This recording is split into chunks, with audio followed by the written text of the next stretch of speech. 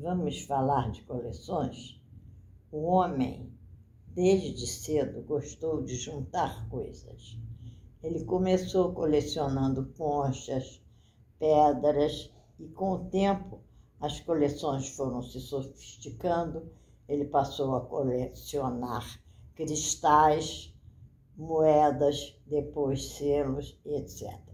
De todas essas coleções, a que me diz respeito particularmente é a coleção de cartões postais.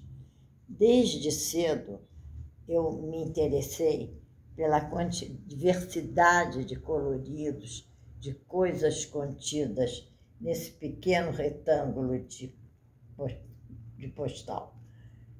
Eram vistas, remédios, coisas interessantes, e eu fui guardando e me tornei uma colecionadora.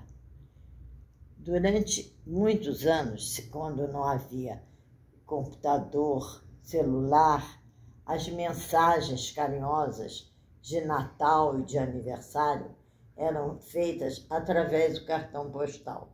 E o mais engraçado é que numa mesma casa as pessoas se enviavam, trocavam cartões, trocavam correspondência nesses cartões postais, nesses bilhetes, que eram cuidadosamente guardados em álbuns que tinham um importante papel na sala de visitas. Graças a isso, nós conseguimos ter até hoje cartões postais bem antigos, cuidadosamente conservados. Eu mesma fui uma colecionadora por toda uma vida. Cheguei a ser presidente da CARGE. O que é a CARGE? A CARGE era uma associação que, que reunia aficionados pelo cartão postal. Nós nos reuníamos aos domingos na praça, na Praça 15, para trocar figurinhas. E essas figurinhas que hoje encantam a todos que vêm. A diversidade de cartões é muito grande.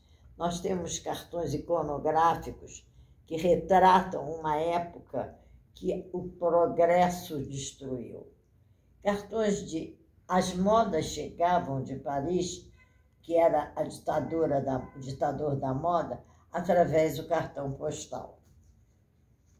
Temos aqui uma variedade de cartões, com todos anteriores ao século passado.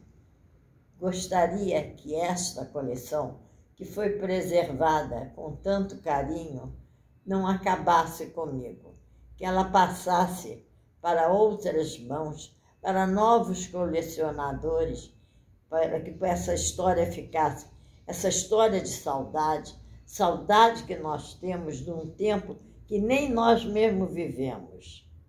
Esses cartões devem ser preservados. Um cartão nunca pode, nunca deve, é como um livro, nunca deve ser destruído. Deve ser colecionado e guardado com todo carinho. Por quê? Porque ele conta a história da época em que você viveu.